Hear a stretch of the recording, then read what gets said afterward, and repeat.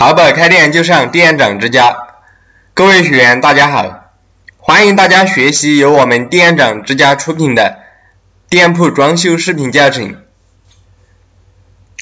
我是店长之家的讲师淘宝天下，今天我们来学习店铺装修的第一节课程，店铺装修基础知识。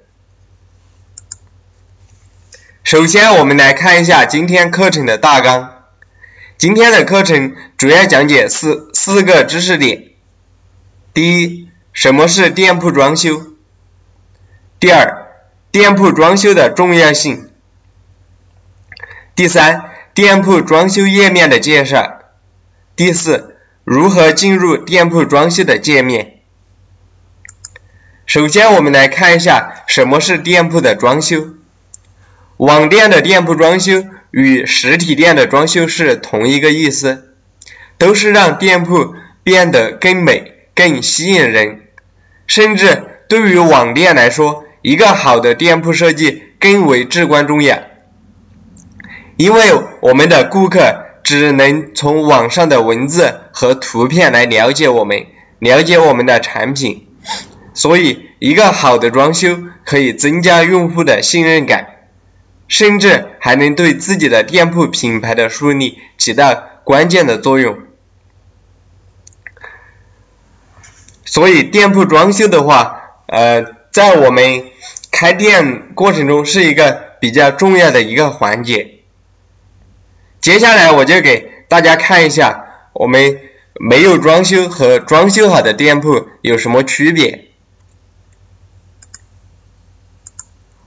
首先，我们来看这个，这个店铺就是刚刚开的一个新的店铺，店铺里面空荡荡的，什么东西都没有，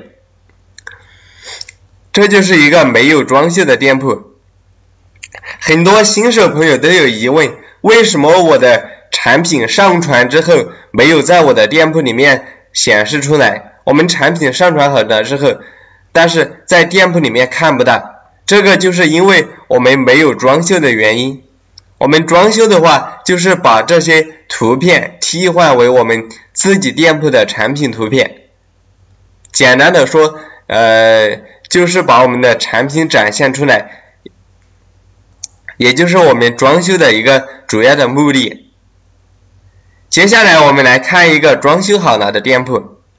这个店铺是一个淘宝上面。呃，做的比较好的一个装修好了的店铺，大家可以看到，它这个头部有自己的品牌，然后图片这些都是替换了的，然后在这里有一些呃对店铺的一个定位的介绍，接下来是展示的一些产品，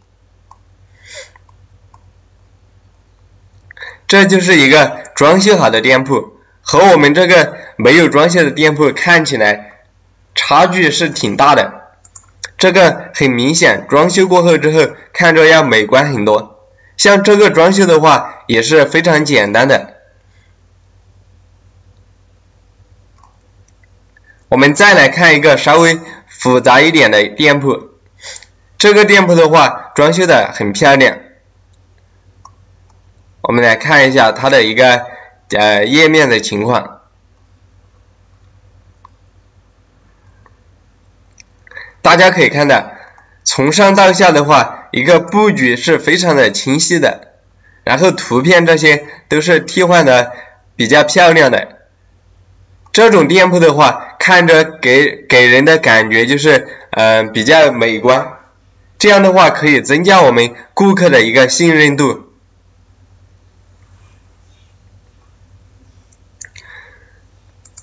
所以说我们在淘宝开店的过程中，装修的话，大家一定要多花点功夫去做。在呃后面的课程中的话，我就会详细的给大家讲解一下这种店铺是如何装修出来的。接下来我们简单的介绍一下店铺的一个呃页面的一个构成。这个店铺的话，都是通过一些模块组成的，就是我们店铺的首页。在这上面是我们店铺的一个页头和店招区域，这一块就是我们的店招区域，而这一块是我们的导航区域，然后是一个图片轮播的模块。接下来这里是一是一个呃特价产品的一个模块，然后下面是同样的，都是由很多模块构成的。我们在装修过程中的话，就是通过编辑这些模块，把模块里面的图片和宝贝都替换成我们自己的，也就是呃装修好了。所以说呃装修的话，虽然看起来比较复杂，但是操作起来都是挺简单的。接下来的话，呃有一个很关键的问题就是我们如何进入店铺的装修页面。首先的话，我们进入淘宝网，然后登录我们的淘宝账号，点击右上角这里的卖家中心，这样的话，我们就进入到了卖家淘宝网的一个卖家后台，然后我们在左侧找到店铺管理，在店铺管理下面有一个店铺装修，我们点击这个店铺装修，就可以进入到我们店铺的一个。呃，装修的后台界面了，我们所有的装修操作都是在这里完成的。大家可以看到，这个店铺的话都是由很多模块组成的。我们把鼠标放到每一个模块上面之后，在这里会显示一个编辑按钮，我们点击编辑按钮就可以对这个模块进行修改。这里每个每个区域都是。由一个模块组成的，都是可以编辑的。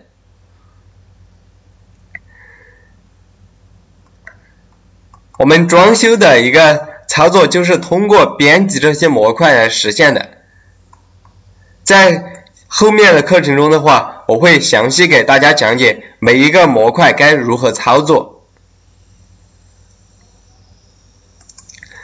关于店铺装修的一个基础知识的话。就为大家介绍到这里，在后面的课程中，我们再详细的来演示店铺装修具体的如何操作。这节课的话，我们就是简单的了解一下淘宝店铺装修的一些基本的内容。如果大家在开网店过程中有什么疑问的话，可以登录我们店长之家的网址，学习我们更多的课程。我有新的课程之后，也会在我们店长之家上面进行发布，欢迎大家前往前去学习。今天的课程到此为止，谢谢大家的观看，祝大家学习愉快，开店成功。